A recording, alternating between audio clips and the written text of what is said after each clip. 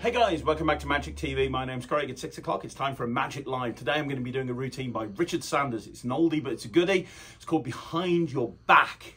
He uh, published that on the Richard Sanders show many, many years ago, and it is incredible. Fantastic opener when you're doing banquets. I'm going to do it on Michael, who's currently behind the camera. How you doing, Michael? I'm good. Good stuff. I have my Copag playing cards. Um, and I'm going to show you a trick with a pack of cards. You can see they're all there. Hopefully you can see they're all different. You see that, my friend? Yeah. Cool. Um, so what's going to happen is I'm going to have you pick a card. Okay. But I'm going to do it with the pack behind my back. So when the pack's behind my back, I'm going to turn round, I'm going to riffle up the deck like this, and, and you're going to say stop.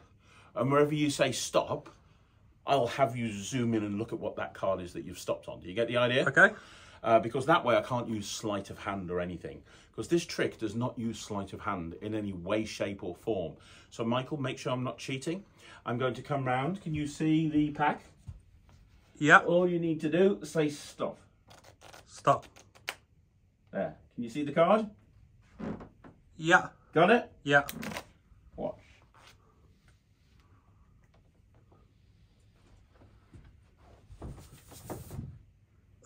One card in my mouth.